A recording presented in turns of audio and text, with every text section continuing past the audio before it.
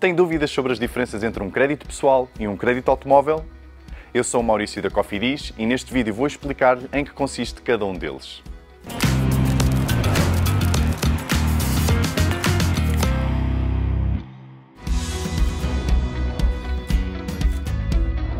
É provavelmente o produto financeiro mais fácil de tratar, tem um teto máximo de 75 mil euros e as mensalidades vão depender do tempo escolhido para amortizar, que pode ir até 84 meses, ou seja, 7 anos. Quer isto dizer que ao escolher um crédito pessoal terá alguma elasticidade em escolher pagar mais no final, mas em mensalidades mais suaves ou encurtar o prazo de amortização e poupar algum dinheiro em juros. Atenção! A finalidade de um crédito pessoal não é especificamente a compra de um automóvel.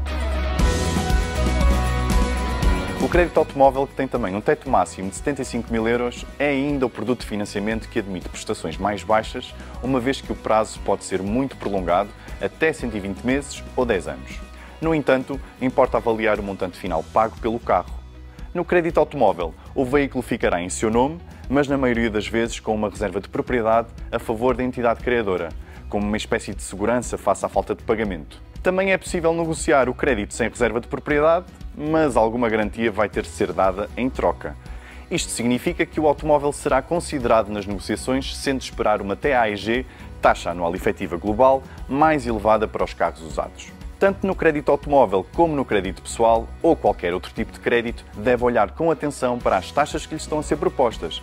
A TAN, taxa anual nominal, que representa os juros cobrados pela instituição e, sobretudo, a TAEG, que acrescenta aos juros os encargos e impostos. Assim, se está a pensar adquirir um automóvel, lembre-se que os próprios estantes podem aconselhá-lo na solução mais adequada para si, desde que estejam registados no Banco de Portugal como intermediários de crédito.